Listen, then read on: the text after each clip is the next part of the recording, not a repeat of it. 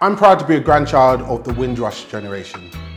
My grandparents, like many before and after them, migrated from the Caribbean, Grenada and Jamaica, to the UK after the Second World War to help rebuild Britain. The challenges they faced and the contributions that they made can never truly be accurately recognised. I draw a lot of strength from my grandparents who paved the way for my parents and me.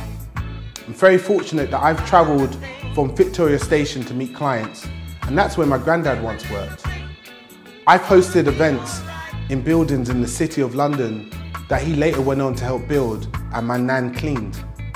I've peacefully walked down streets that my grandmother campaigned for justice on. I wouldn't be the person I am today without their resilience, courage, faith and love. Thank you from the bottom of my heart. I'll do everything I can to make you proud and to continue your outstanding legacy.